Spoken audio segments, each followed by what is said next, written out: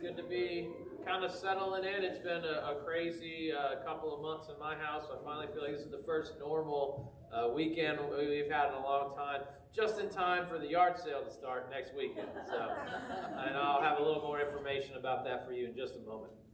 But we are so glad you've chosen to worship with us today. Uh, if you're uh, watching us online, we are so happy to have you. Just leave a comment or, or something so we just know you're here. Uh, and our Facebook greeters will be with you uh, just to keep our conversations going. If you're here in the building, uh, it's great to see you today. Uh, if I have just a if you, any of your information has changed, or maybe you have a prayer request or or anything, if you would take a minute and fill out the Connect card. Uh, if you're watching at home online, you can scan that code. If you're watching on your phone, take your uh, friend's phone and scan that and fill that out. Uh, or you could uh, get a hold of us on our website or Facebook as well. Um, the best way to get a hold of us, of course, is through the app, and the best way to do that is to text LFCOG app to 77977. Uh, you can also give online there as well. Our ushers uh, would come and take offering here in the building today. You can give online by scanning that, or again, use the app to set up recurring giving. Uh, there's lots of different ways to do that. So um, I have just, just a couple announcements for you today. I, I already mentioned our yard sale. We have, uh, if you've been in the gym lately, uh, you can see there's some things there that weren't there before, just a handful of things. Uh, but we have more coming. Uh, we do. We have a lot more coming. So we, you can still drop off your yard sale donations. I saw a few folks bringing some things in today. Thank you for that. Uh, but all this week, if you can come and help set up, we're going to be moving some stuff from the gym into other areas of the church. We're going to move the kids' stuff into the uh, the center area where Beth Sunday School classroom is. We're going to move some picture frames and holiday items and books into here. Uh, and so, and then we're going to get more stuff uh, as the week progresses. So if you can help with any of those things, uh, we have been leaving the church doors open. We've had folks come and stay as late as, as 9, 9.30, 10 o'clock in the evenings, and you can show up as early as, you know, 9 or so if, if you want. If you want to come earlier than that, just get a hold of somebody who has a key, and we'll let you in. Uh, so if you want to help set up with that, we could appreciate that. And if you can actually work at the yard sale itself, uh, we still need some folks to help with that. Um, I, I, we definitely will need all hands on deck to help with that. I believe you guys, you guys still have some large furniture items that need picked up as well. So if you can help uh, get some of those items, I think there's just one more trailer load of boxes, and then we need like furniture and stuff that'll go outside. So if you can help with any of those things, please get a hold of Sue Cahill or Alan Reed and we'll you guys can schedule some time to get together and get some of those items uh, to the building. Uh, so uh, as part of the yard sale setup, and because we're going to be moving stuff all over the place, there'll be no uh, Bible study or youth this Wednesday. Instead, we're just asking you to come out and help set up for the yard sale. There will be landmark kids, and, and we'll try to get nursery available as well. If you want to come and help, uh, we'll have those services available for you uh, so we can use all the help we can get. Uh, and then we look ahead for about a month. And then we have a busy weekend again as our church. We have the, the block party on Saturday, September 10th from 11 to 4. Uh, in the morning, that's also our second Saturday. So, man, we'll get together and have some breakfast and then head over and run this, yard, run this block party uh, or help in any way we can. Uh, all kinds of stuff bounce houses, games, school supplies, kids' clothes. Mooney's food truck is going to be up here uh, popcorn, snow cones. We're giving away stuff, all kinds of wonderful things. So uh, if you can help with that or, or, have any questions, please get a hold of Dana Steele, and she'll be able to answer all your questions and tell you exactly what it is that we need you to do. Um, and then the next day, uh, on that Sunday, September 11th, is our church picnic. And so all of our services will be at Camp Creek State Park. Uh, and so uh, I have the, as that gets a little bit closer, I'll tell you what shelter we're at and all that information, but just know that that'll be our church picnic. So there will be no service in the building. It will all be at Camp Creek that day. And then just one more thing. Uh, if you have a bulletin, I hope you do, uh, you'll notice on the very bottom there, it says counters. And then right above that, it says Landmark Littles. And we have our nursery workers for this week. Sunday and Wednesday are listed. If you were at the business meeting on Wednesday evening, uh, you heard a desperate plea from Shannon Allen to get some help. We have lost a few nursery workers in the last few weeks, and we're struggling to fit those spaces. And, uh, and I know if you're on the nursery schedule, you've been working it a lot more than you have normally to help make up that time. So if you would like to serve in the nursery, uh, please get a hold of Shannon. We need we need more help in there. We got babies, and especially coming off of the the yard sale and the block party, we're hoping to have more young families in here. And we're going to need help in all of those spaces. So if you have any desire to help in the nursery at all, please get a hold of Shannon Allen. We could definitely use you. Um, I think those are all of the announcements. If you're able, would you? Stay? Oh yeah, we have one more. So um, as part of the yard sale, yes.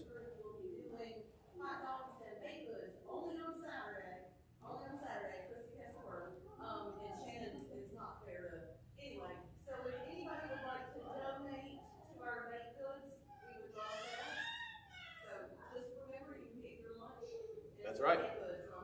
That is part. I forgot that. Thank you. Yeah, on Saturday there will be have hot dogs and baked goods for a sale for purchase to raise money for the youth group, so we can go to state youth convention and hopefully international youth convention in the next couple of years. So uh, be on the lookout. The yard sale is a big event for a lot of facets of this church. So uh, would you please stand if you're able to pray with together? Yes. Where does groups have their uh, bike sale? And hot dog sale Saturday? Saturday evening on Mercer Street. We all day Saturday and Saturday.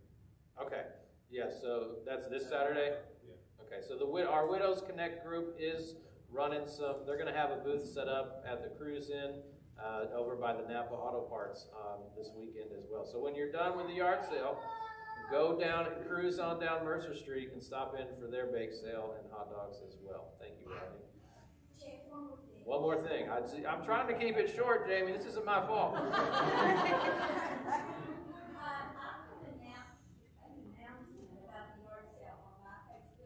yes. If, if you run into that, please share it. I I fixed it to where you can share it uh, to get a lot of people knowledgeable about the yard sale coming up. Yeah, it's on the Landmark Facebook page. It's on Sue's Facebook page. I've seen a few people have shared it anything we do, that's fair game. Put that out there. The world, we want the world to know. Uh, absolutely, we do. Make sure it's publicized. Thank you so much. Yeah, do it however you want. Get the word out. Get the word out. Thank you, Sue. I appreciate that. Anything else?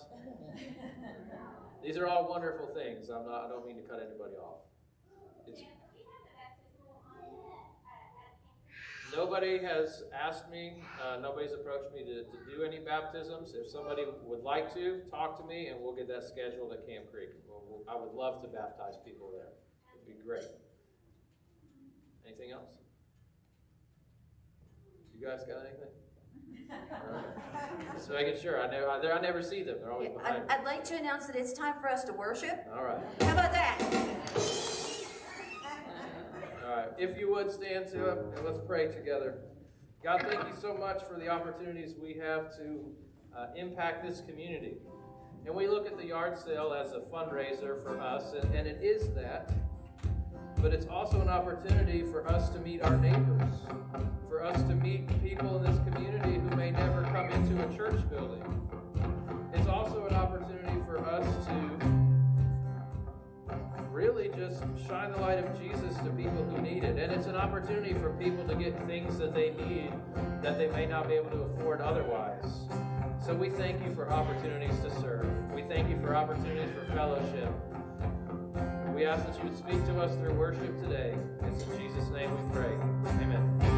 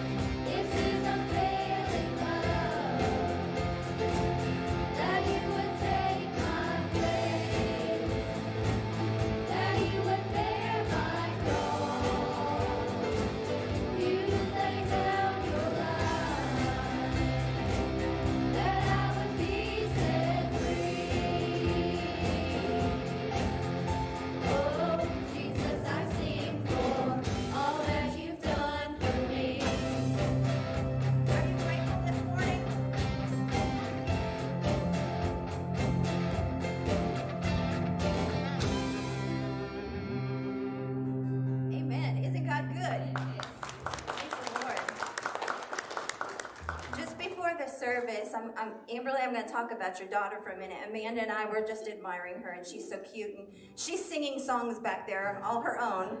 And um, Amanda said she just doesn't even know how loved she is.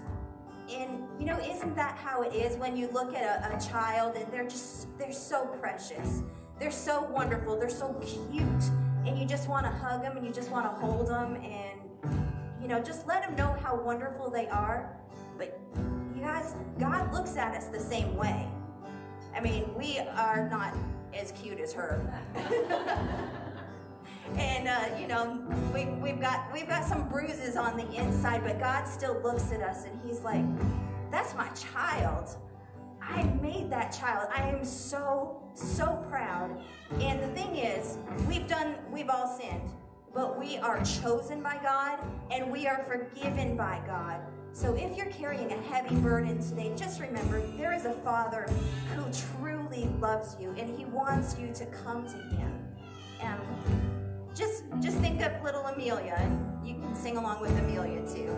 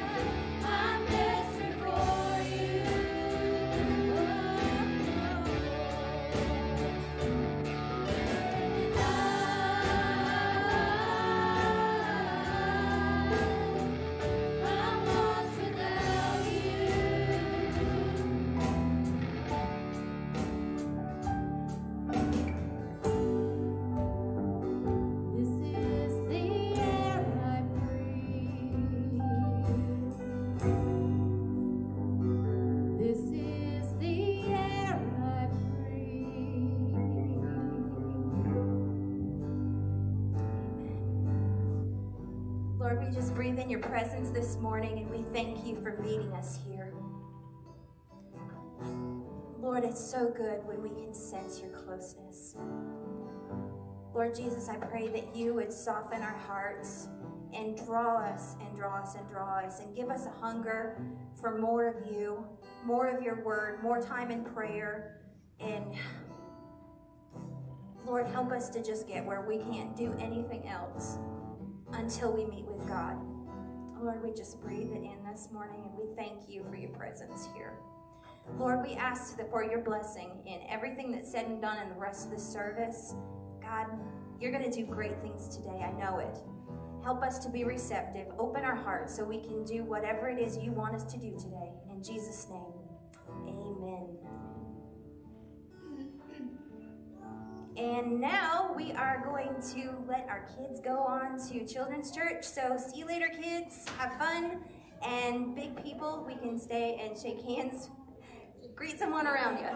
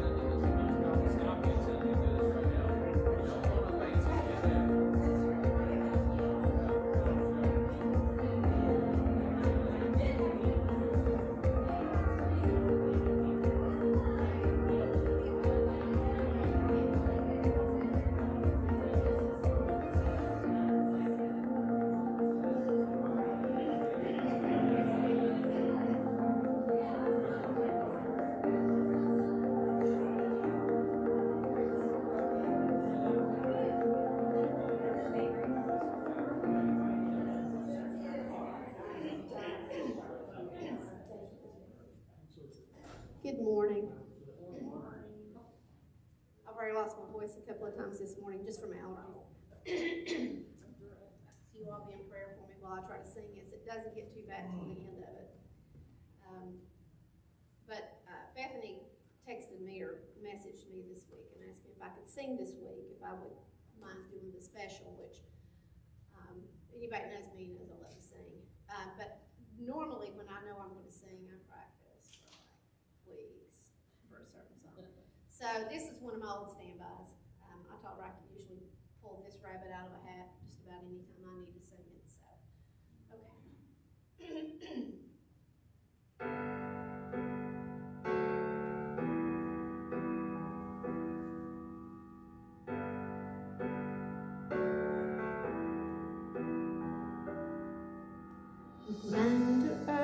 hearts quaked before.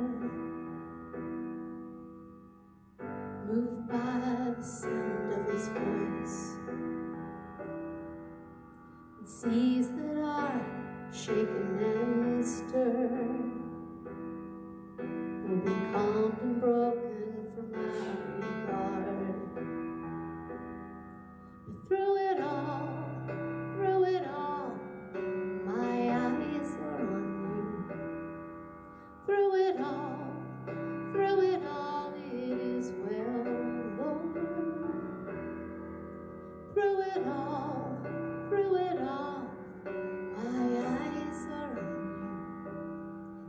as well.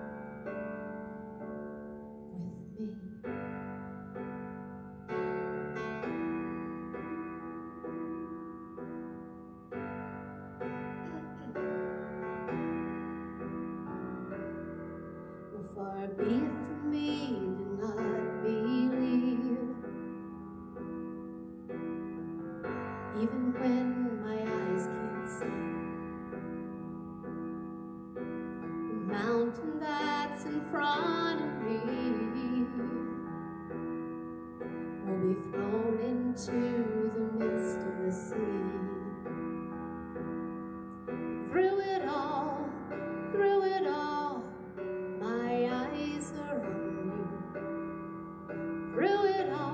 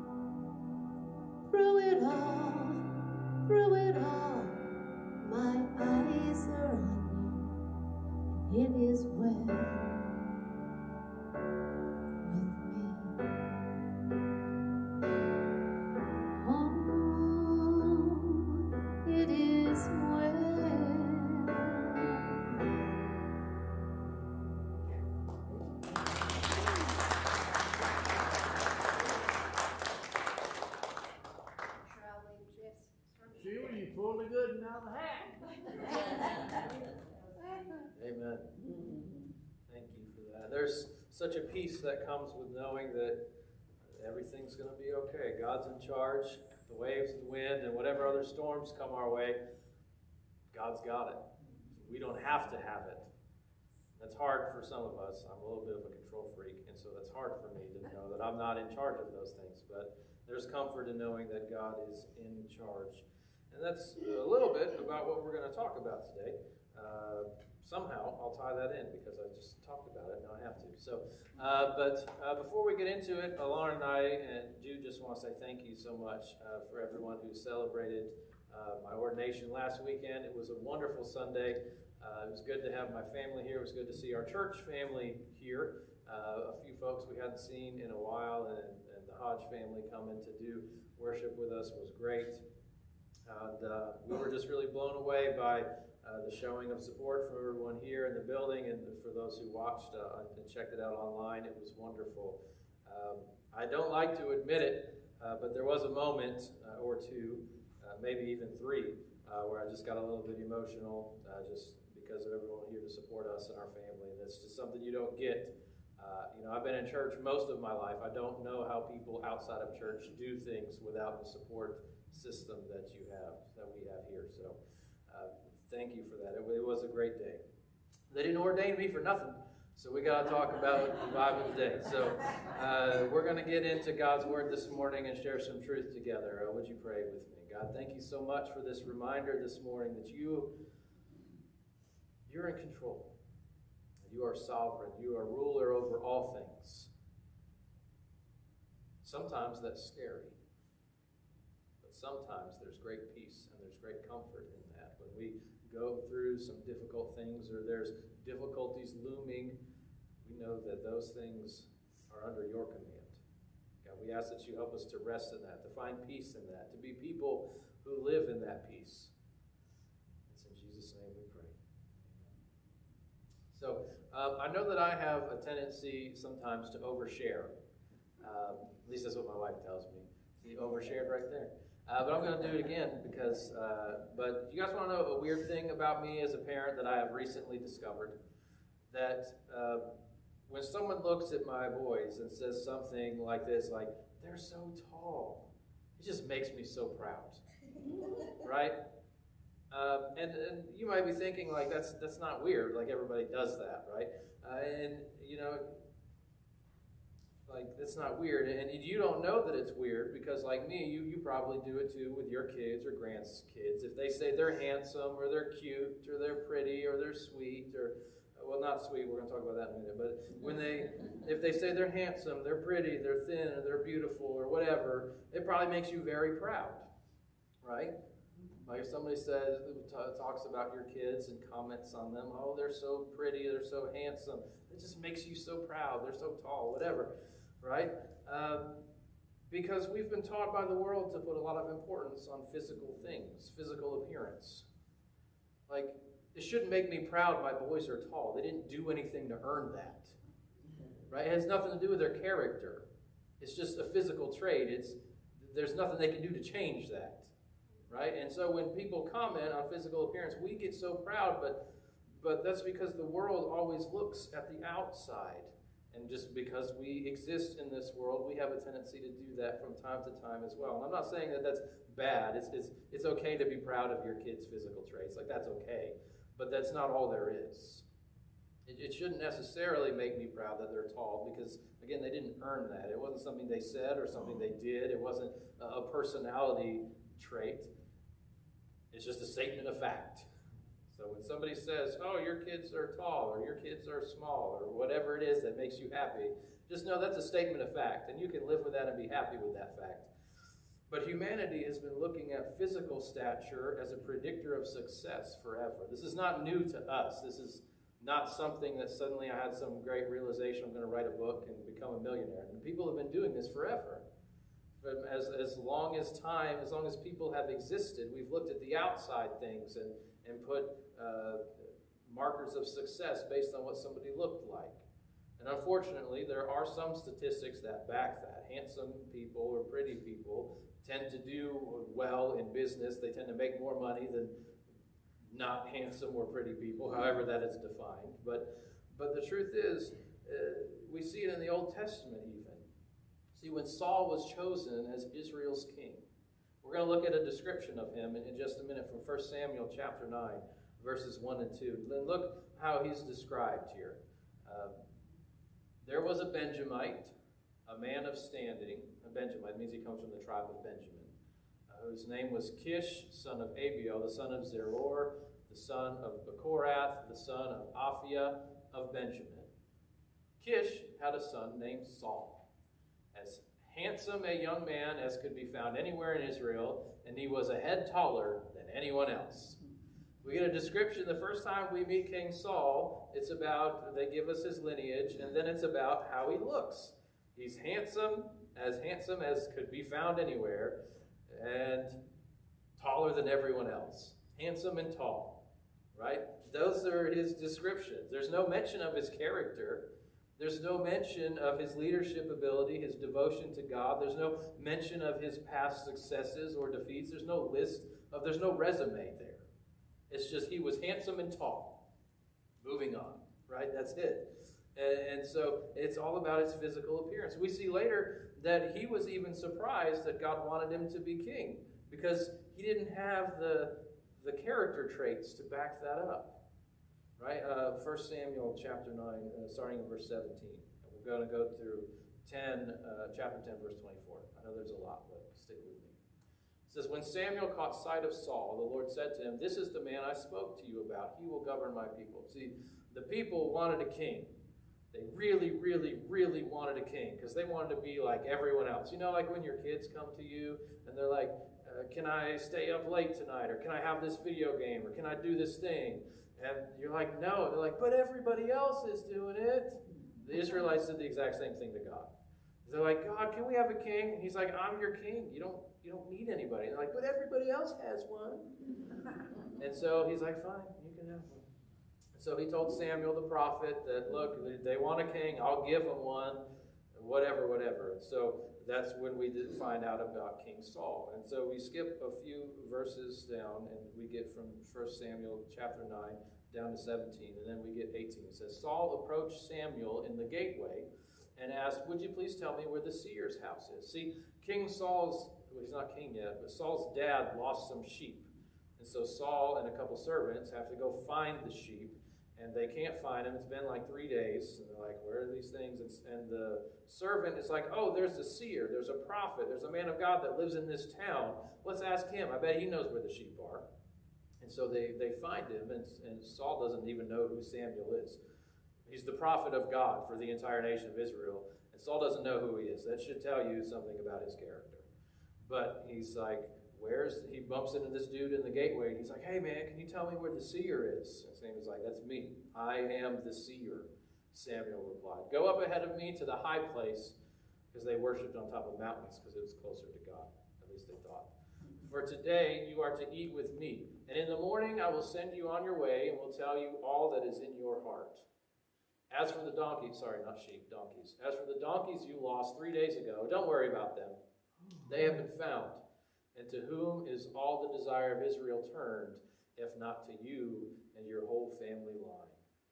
Saul answered, But I am not, like, am I not a Benjamite from the smallest tribe of Israel? And is not my clan the least of all the clans of the tribe of Benjamin? Why do you say such a thing to me?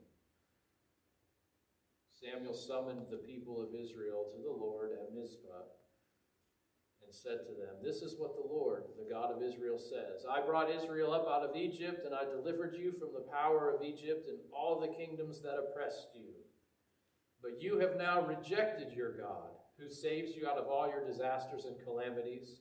And you have said, No, appoint a king over us. So now present yourselves before the Lord by your tribes and clans. Look, I'm holding a meeting. You wanted a king. I'm going to give you one. All right? When Samuel had all Israel come forward by tribes, the tribe of Benjamin was taken by Lot. Then he brought forward the tribe of Benjamin, clan by clan, and Matri's clan was taken. Finally, Saul, son of Kish, was taken. But when they looked for him, he was not to be found. So they inquired further of the Lord, Has the man come here yet? Like where he got picked to be king. Where where is he? Is he not here yet? And the Lord said, Yes, he's hidden himself among the supplies. He just got said, Hey, look, you're gonna be king of Israel. There's this big assembly, and his name is pulled out of a hat or whatever it is that they do by casting lots, right? And then they're like, where is he? And God's like, oh yeah, he's hiding. God had to tell them he was hiding. He must have been really good at hide and seek. They ran and brought him out, and as he stood among the people, here it is again, he was a head taller than any of the others. He's so tall. He's going to be a great king.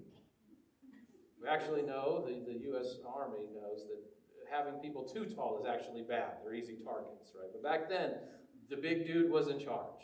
That's how it worked. Samuel said to all the people, Do you see the man the Lord has chosen? There was no one like him among all the people, because he's handsome and the head taller than everybody else. Then the people shouted, Long live the king. And that's how King Saul became king. Right? Isn't that weird? Right? That's why it was such a surprise when God chose David as the next king. Saul didn't have the character. We saw a peek of it. He was a coward. He ran and he hid. When it was time for him to step up and, and claim uh, the throne, he was hiding among the supplies. But they chose him and they were happy. They were excited because he was handsome and tall. And that's why when, when God chose David as the next king, it was a little bit surprising. He, he wasn't tall, he wasn't even a man yet. Saul was 30 years old when he became king. David was like you know, 10, 11, or 12 when he was anointed. And the Bible, some translations say that David was handsome, but some say he was ruddy, which just means he just kind of looked like a kid, because he was. He didn't look like a king. 1 Samuel chapter 16, verses 1 through 13 tells us kind of that story. The Lord said to Samuel, How long will you mourn for Saul, since I've rejected him as king over Israel? So Saul did some stuff he shouldn't have done. He didn't follow directions. He didn't listen to what God had told him to do. He offered a sacrifice when only the priest was allowed to do that. And then he, he disobeyed God's orders and didn't destroy everyone he was told to destroy. And God's like, look, you're just done. You're gone from it. Like, you had your chance, you blew it, you messed it up. There's no coming back from that. You didn't follow my directions. And so Samuel is pretty upset about it because he had his heart set on Saul. He was trying to you ever you ever meet somebody that's a little bit down and you're like, oh, I can fix them. This is more typically happens to ladies more often than men, but you guys know somebody like that that just want to fix people. Samuel was a fixer, and he was so upset that he couldn't fix Saul and make him the king that God wanted him to be. He was in mourning, and so the Lord says, Samuel, how long will you mourn for Saul? I've rejected him as king over Israel. Fill your horn with oil and be on your way. I'm sending you to Jesse of Bethlehem. I've chosen one of his sons to be king. It's like, look, get over it, Samuel. I got another guy to be king. I got another one. It's, it's going to be great. Samuel said, How can I go? If Saul hears about it, he will kill me. The Lord said, Take a heifer with you and say, I've come to sacrifice to the Lord. Invite Jesse to the sacrifice, and I will show you what to do. You are to anoint for me the one that I indicate. This time God is picking. Samuel did what the Lord said. He, when he arrived at Bethlehem, the elders of the town trembled when they met him. They asked, Do you come in peace? Because they know he's a prophet of God. And sometimes when a prophet shows up in your town, bad things are on your way. So they're freaked out. And so Samuel replied, Yes, I'm come in peace. Uh, I've come to sacrifice to the Lord. Consecrate yourselves and come to the sacrifice with me. Then he consecrated Jesse and his sons and invited them to the sacrifice. When they arrived, Samuel saw Eliab, that's Jesse's oldest son, and thought, Surely the Lord's anointed stands here before the Lord. Why? Because he was handsome and tall. We find that out a little bit. But the Lord said to Samuel, Do not consider his appearance or his height. Sorry, tall people. For I have rejected him. The Lord does not look at the things people look at. People look at the outward appearance, but the Lord looks at the heart, character. Then Jesse called Abinadab and had him pass in front of Samuel. That's his second son. But Samuel said, The Lord has not chosen this one either. Jesse then had Shammah pass by. Samuel said, Nor has the Lord chosen this one. Jesse had seven of his sons pass before Samuel, but Samuel said to him, The Lord has not chosen these. So he asked Jesse, Are these all the sons you have? I told you to bring them all in. Is this everybody? Oh, there's still the youngest, Jesse answered. Anybody with more than two kids, sometimes you forget you have an extra one. He's tending the sheep. I only have two. Sometimes I forget one. I lose them on occasion. Right? Samuel said, Send for him. We will not sit down until he arrives. Like, look, I told you to bring all of the kids. He's like, Oh, yeah, I forgot. There's the other one out with the sheep. He's like, Well, bring him. So he sent for him and had him brought in. He was glowing with health and had a fine appearance and handsome features. Then the Lord said, Rise and anoint him. This is the one. So Samuel took the horn of oil and anointed him in the presence of his brothers. And from that day on, the Spirit of the Lord came powerfully upon David. And then Samuel left and went to Ramah. He didn't look like one. He, he wasn't a head taller than everyone else. He was just a kid. He was different. Because the Lord doesn't look at what people look at. He doesn't look at outward appearances. He looks at our heart, our character. God makes it clear it's not about looks, it's what's on the inside that counts. Have you ever heard that before? Right? But it's so true. David's character was better. Uh, there's a, a, passage in there after Saul has been deposed, or God's Spirit leaves Saul, where he tells Samuel, he's like, Look, the next king will be a man after my own heart. And, uh, Acts chapter 13, uh, Paul's writing about this and reminds his hearers about this. In Acts 13 22, it, it kind of states it this way said, After removing Saul, he made David their king, and God testified concerning him I have found David, son of Jesse, a man after my own heart. He will do everything I want him to do. It's about character. Saul didn't have the right character. Didn't follow directions. He was first he was terrified and then he got prideful. But David God says he'll do the things I want him to do. He'll follow my directions. Now, at this point in history, in 2022, right, we know that character matters. Uh, we have so many tools to evaluate character. We have personality inventories, we have success metrics, we have all these things in business uh, that can tell you, you know, when you're going to hire someone, you get, you got all these hoops to make people jump through. You can look at someone's resume. You can look at their past successes. You can call and get character references, right? They, they don't call them just references anymore. They're character references. Because I, I can look on a paper and see what this person has done, but tell me about who they are. We know that that matters when we go to hire right? And we have all these tools to evaluate that. And a lot of us would even read the story of Saul and say something like, well, well, he failed because he wasn't equipped for the job, right? He didn't have the experience or uh, the skills or the experience necessary to be the king. And you would be absolutely right. He did not have the skills or experience necessary to be the king, right? Um, but he also didn't have the right character. As we saw in that very first passage, right? He was a coward. And then when he didn't follow directions and he was arrogant. And I've mentioned this a few times, but uh, 1 Samuel chapter 13, verses uh, 5 through 14, kind of tell us exactly what happened. The Philistines assembled to fight Israel with 3,000 chariots, 6,000 charioteers, and soldiers as numerous as the sand on the seashore. A whole bunch of people. They went up and camped at Michmash, that's a fun name, right?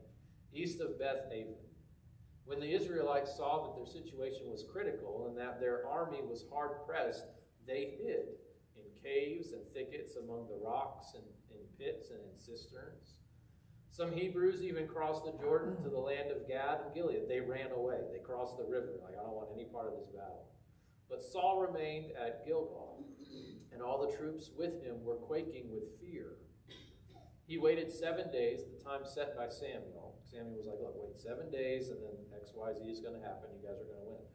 But Samuel did not come to Gilgal, and Saul's men began to scatter. So he said, Bring me the burnt offering and the fellowship offerings. And Saul offered up the burnt offering. Just as he finished making the offering, Samuel arrived, and Saul went out to greet him. What have you done? asked Samuel. And Saul replied, Well, when I saw that the men were scattering, and that you did not come at the set time, and that the Philistines were assembling at Michmash, I thought, now the Philistines will come down against me at Gilgal, and I have not sought the Lord's favor. So I felt compelled, felt like it was a good idea to offer the burnt offering. You've done a foolish thing, Samuel said, because he didn't follow direct. Samuel showed up. He just, Saul just didn't wait long enough. Right? You have not kept the command the Lord your God gave you. If you had, he would have established your kingdom over Israel for all time. But now your kingdom will not endure. The Lord has sought out a man after his own heart and appointed him ruler of his people because you have not kept the Lord's command. And, and later on in uh, 1 Samuel chapter 15, verses 1 through 34. Samuel said to Saul, I am the one the Lord sent you, sent to anoint you king over his people Israel. So listen now to the message from the Lord. This is what the Lord Almighty says I will punish the Amalekites for what they did to Israel when they waylaid them as they came up from Egypt. Now go, attack the Amalekites, and totally destroy all that belongs to them. Do not spare them put to death men and women, children and infants, cattle and sheep, camels and donkeys. And so Saul summoned the men and mustered them at Telaim, 200,000 foot soldiers and 10,000 from Judah. Saul went to the city of Amal of Amalek and set an ambush in the ravine. Then he said to the Kenites, Go away, leave the Amalekites so that I do not destroy you along with them, for you showed kindness to all the Israelites when they came up out of Egypt. So the Kenites moved away from the Amalekites. Then Saul attacked the Amalekites all the way from Havilah to Shur near the eastern border of Egypt. He took Agag, king of the Amalekites, what's that word? Alive.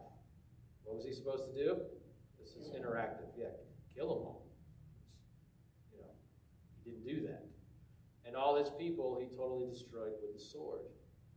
But Saul and the army spared Agag and the best of the sheep and cattle, the fat calves and lambs, everything that was good. What did God tell them to do? Get rid of everything. Did they do it? No, they did not, right? These were they were unwilling to destroy completely, but everything that was despised and weak, they totally destroyed those. Then the word of the Lord came to Samuel. I regret that I've made Saul king because he's turned away from me and has not carried out my instructions. Samuel was angry and he cried out to the Lord all that night. Early in the morning, Samuel got up and went to meet Saul, but he was told, Saul has gone to Carmel. There he has set up a monument in his own honor and has turned and gone on down to Gilgal. He made a statue of himself because he's like, Yeah, I won. When Samuel reached him, Saul said, The Lord bless you. I've carried out the Lord's instructions. Did he, though? No, he's a liar. But Samuel said, What then is this bleating of sheep in my ears? What then is this lowing of cattle that I hear? I'm glad you guys laughed. That is funny. Samuel's like, Oh, you did. And like a sheep just walks by. Right? Well, come on, man. Saul answered, The soldiers brought them from the Amalekites. They spared the best of the sheep and cattle to sacrifice to the Lord, your God, not my God, your God. but we totally destroyed the rest. You guys have you guys have kids, right? You know, when you tell them to do something, right? And they're like, "Oh yeah, we uh, we we didn't do that, but we did everything else we were supposed to, to do, right? Oh, I forgot to make my bed, but I cleaned my toys, uh, shoving them under the bed. Right? Okay, enough," Samuel said to Saul. Let me tell you what the Lord said to me last night. Well, tell me, Saul replied. Samuel said, Although you were once small in your own eyes, did you not become the head of the tribes of Israel? The Lord anointed you king over Israel. He sent you on a mission, saying, Go and completely destroy those wicked people, the Amalekites. Wage war against them until you have wiped them out. Why did you not obey the Lord? Why did you pounce on the plunder and do evil in the eyes of the Lord? But I did obey the Lord, Saul said. I went on the mission the Lord assigned me. I completely destroyed the Amalekites and brought back Agag, their king. That wasn't in the list of things to do. The soldiers took sheep and cattle from the plunder, the best of what was devoted to God, and in order to sacrifice them to the Lord your God at Gilgal. He's just repeating himself because he knows he's caught. But Samuel replied, Does the Lord delight in burnt offerings and sacrifices as much as in obeying the Lord? David tells us later in the Psalms, like, like you don't delight in burnt offerings, or I would give you one. You just want me character matters even more than burnt offerings, right? To, to obey is better than sacrifice, and to heed is better than the fat of rams. It's like, look, God is God, like sacrifices or whatever. He just wanted you to do what you were told. For rebellion is like the sin of divination, and arrogance like the evil of idolatry. Because you've rejected the word of the Lord, he has rejected you as king. Then Saul said to Samuel, now he gets it. I have sinned. I violated the Lord's command and your instructions. I was afraid of the men, and so I gave in to them. You didn't have the right character. Now I beg you, forgive my sin and come back with me so that I may worship the Lord. But Samuel said to him, I will not go back with you. Have rejected the word of the Lord, and the Lord has rejected you as king of Israel. As Samuel turned to leave, Saul caught hold of the hem of his robe, and it tore. Samuel said to him, The Lord has torn the kingdom of Israel from you today, and has given it to one of your neighbors, one better than you. He who is the glory of Israel does not lie or change his mind, for he is not a human being that he should change his mind.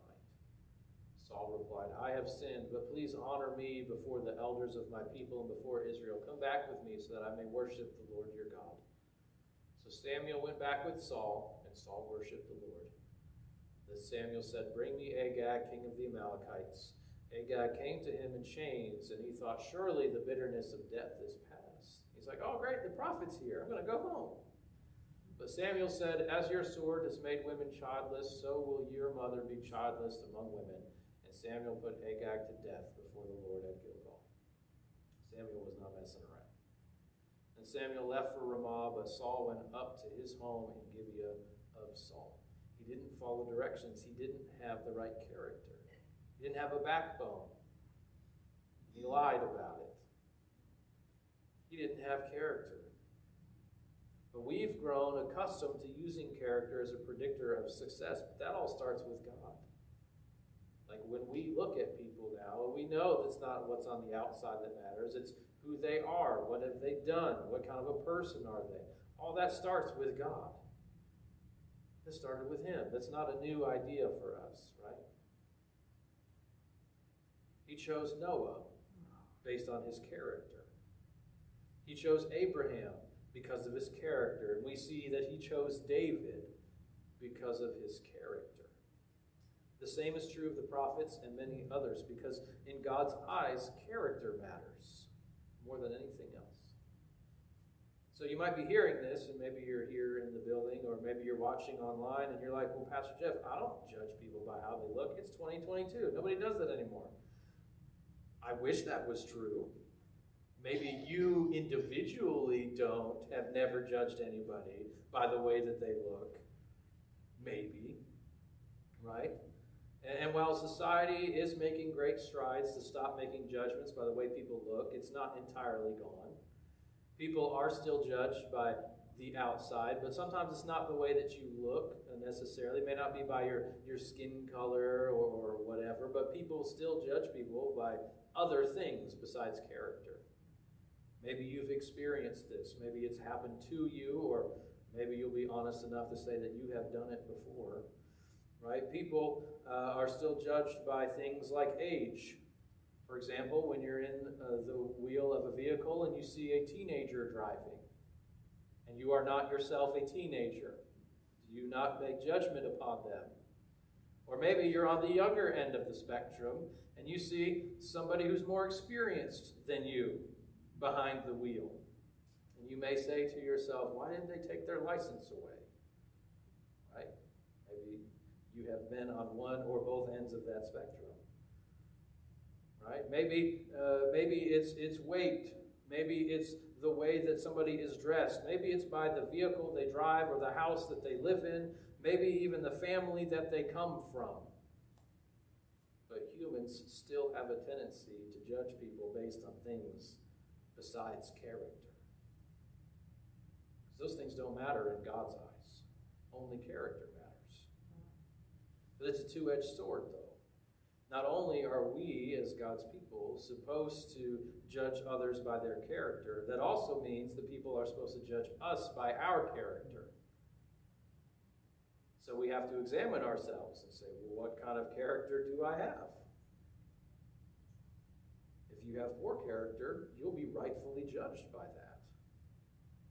We're called to have godly character, to live like Jesus in the world, to, to operate out of a place of peace, like Sheila's song said. We recognize that God is sovereign and we're not. If we are a control freak, that's not godly character. If you're a coward like Saul, that's not godly character. If you're arrogant, that's not godly character. If you lie or cheat or steal, that's not godly character. If you're lazy, are, are, are you hateful or petty or spiteful or, bitter or quick tempered? Do you gossip? And in church, we never gossip, we only share prayer requests. I'm glad you caught the sarcasm there. There's no place for that. That's not godly character, even if we try to gussy it up. King Saul even said, Oh, the men kept the cattle to make sacrifices to God. They didn't follow directions. And he tried to hide it we do the same thing with sometimes with our character, right? There's no place for these character traits in the child of God. Not that we're perfect, by no means. But if you notice these things and you're just like, ah, it's fine, it's not fine according to God because character matters. As a Christian person, your character matters. We're called to be different. And there's lots and lots and lots of scriptures about the way that we should live, but uh, I'll just give you two. 1 Timothy chapter 6, verse 11. But you, man of God, or woman of God, person of God, child of God, whatever you want to put in there, flee from all this. There was a big list of negative things, but pursue righteousness, godliness, faith, love, endurance, and gentleness. Has anyone ever described you with any of those characteristics? That's the character we should strive for. And Galatians chapter 5, verses 13 through 26. You, my brothers and sisters, were called to be free, but do not use your freedom to indulge the flesh, but rather serve one another humbly in love. For the entire law is fulfilled in keeping this one command love your neighbor as yourself. Has your character been described as loving? If you bite and devour each other, watch out, or you will be destroyed by each other. So I say, walk by the Spirit, and you will not gratify the desires of the flesh. Look, we, before Jesus, before the Holy Spirit comes in, we don't have godly character because we're not godly why it always still surprises me when we get surprised that like sinners sin. That like non Christian people do dumb things or they do things that are like bad. Like they don't have the Spirit of God. They don't have godly character. Neither did we until the Spirit came in and changed our lives. So live by the walk by the Spirit. Allow God to change you, and you won't gratify the desires of your flesh. Your character will change. The flesh desires what is contrary or opposite or fighting against the Spirit. And the Spirit, what is contrary to the flesh. They are in conflict with each other so that you are not to do whatever you want. But if you are led by the Spirit, you're not under the law. The acts of the flesh are obvious sexual immorality, impurity, debauchery, idolatry and witchcraft, hatred, discord, jealousy, fits of rage, selfish ambition, dissensions, factions. These are all bad things, right? And envy, drunkenness, orgies, and the like. I warn you, as I did before, that those who live like this will not inherit the kingdom of God. The Spirit of God isn't in any of those things. But the fruit of the Spirit is love, joy, peace, forbearance or patience, kindness, goodness, faithfulness, gentleness, and self control. Against such things there is no law. Those who belong to Christ Jesus have crucified the flesh with its passions and its desires. Your old character has died, you've killed it. Since we live by the Spirit, let us keep in step with the Spirit. Let us not become conceited, provoking, and envying each other. Don't do that. There's no reason for that, no room for that. Character matters. I guess if I could summarize everything today, it's 1 Samuel 16, verse 7. The Lord said to Samuel, Do not consider his appearance or his height, for I have rejected him. The Lord does not look at the things people look at. People look at the outward appearance, or the family name, or the car they drive, or how much money they have, or a list of other things. But the Lord looks at the heart. Character matters. Character matters. So as we close today, we are challenged to do two things reflect on our character. What kind of a character do we have? What, uh, and if you're not sure, ask some people around you. Ask, ask people who give you an honest opinion. And if, they, if nobody around you will give you an honest opinion of, your, of you, then you, that should tell you all you need to know about some of your character. If everyone around you is afraid to give you an honest assessment right? But if you're not sure, reflect on your own character. What kind of character do you have? Not that you're perfect, at least that we're striving to be different from the rest of the world. And then the second thing, right? Make a point to discover someone else's character before passing judgment on them. Or, this is the easy route, just don't judge them at all. We either get to know somebody before you make decisions or just don't judge people church has been accused of that for a long, long time because we're looking at other things besides character. Character matters. Let's pray together. God, help us to be people of your character